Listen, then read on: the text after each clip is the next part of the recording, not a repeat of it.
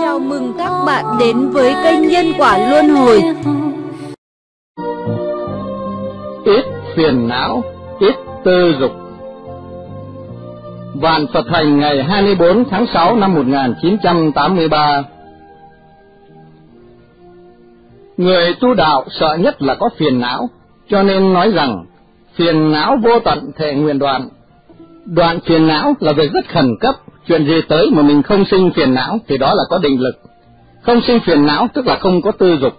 Tư dục là gốc sinh phiền não, sinh ra đủ thứ ngu si và do đó sinh ra đủ thứ bệnh tật.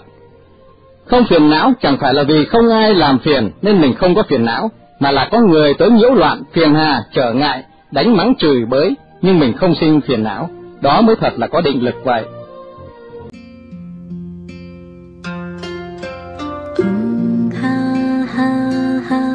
问三摩地娑诃。